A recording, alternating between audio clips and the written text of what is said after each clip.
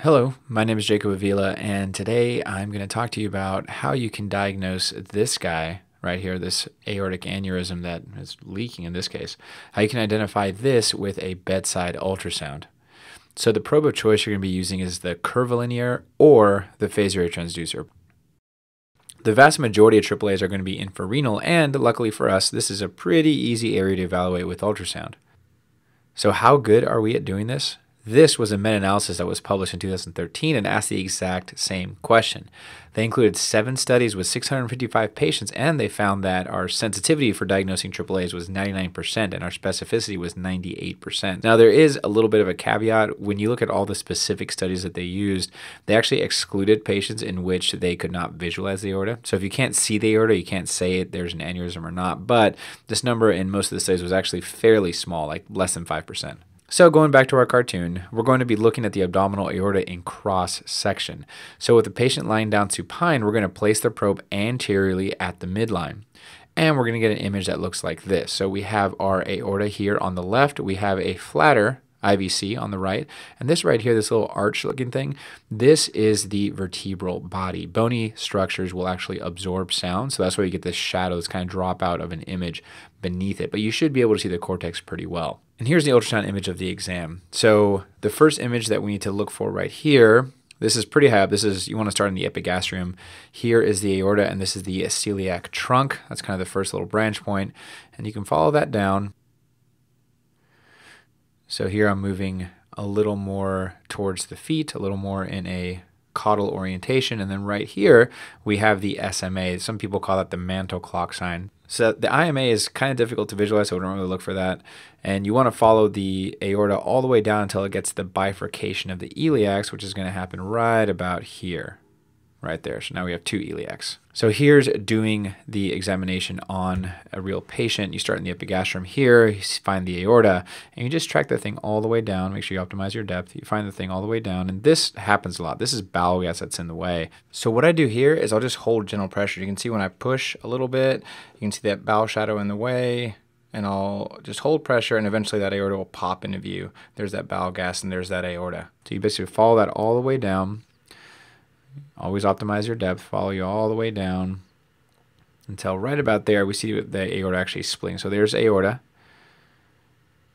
And then right there it splits into two iliacs. Now what happens often is this split into the iliacs happens right at the belly button and the belly button's full of air. So you can do one of two things. You can either fill the belly button with the ultrasound gel, which kind of is a little bit weird, or what you can do is just put the probe either caudally or cranially to the umbilicus to the belly button, and then angle it, fan it either cranially or caudally, whichever way you need to go to find that iliac. You just kind of fan until you find it. That's usually the way that I do it. So when you see a normal aorta like this, that's good. A AAA is going to look like this. It makes sense. It's just a big aorta.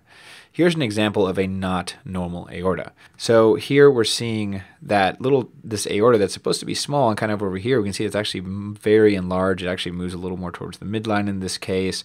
If we measure that, it would definitely be abnormal. Here's another one. Now you can see a bowel gas issue here and we push down and then we can see this big aorta here.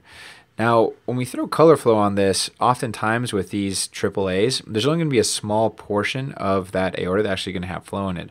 And this can actually be something that trips you up. When you're measuring the size of the aorta, don't measure the lumen where there's blood flow. You got to measure the entire aorta. So outer wall to outer wall. That's extremely important because if you just measure this, you'll grossly underestimate the size of that AAA. You can definitely get a view in the longitudinal orientation, but it's much less useful and you run the risk of underestimating the size of you measuring that view.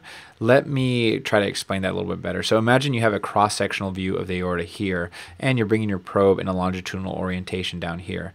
Now, if you get this perfect slice right in the center, then you'll probably get a good measurement of the aorta. But if you're oblique, so if you're slicing it over here instead, you're going to underestimate the size of that AAA. And most AAAs or most diseased aortas are not going to be in a perfectly straight line. So it's going to be difficult for you to know if you're oblique or if you're perfectly in the center of that lumen. For that reason, we usually measure the diameter of the aorta in cross section, not in longitudinal.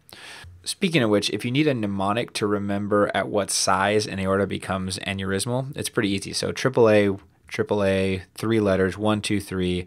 A AAA greater than three centimeters is considered abnormal. Now, many places state that you need to look at the abdominal aorta and measure it at its most proximal, mid, and just above the iliac bifurcation. I feel like this actually takes a lot of work. So, what I do instead is I'll take a clip of the entire aorta, then measure once at the widest point. If you don't have recording capabilities and have to print images to place on a physical chart, then you probably should take those three measurements. But if your machine can record clips, just record clips and take one measurement at its widest point.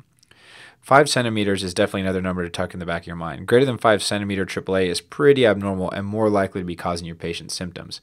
Another thing too is that you can use the width of the vertebral bodies to estimate the size of the aorta. So the average width of the vertebral bodies at L1 through L5 is actually around four to five centimeters. So you can kind of use that to grossly estimate the size of that AAA. Another reason you have to make sure to evaluate the entire aorta is that there is a rarer form of a AAA called a saccular aneurysm, and this is what it looks like here.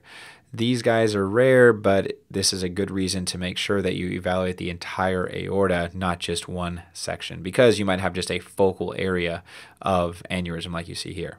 So to recap, a abdominal aortic aneurysm greater than 3 centimeters is considered abnormal. You want to place that probe in the anterior abdominal wall and look pretty much as high up as you can in the abdomen, so right at the epigastrium, and you want to go all the way down until you get to the split of the aorta into the iliac arteries.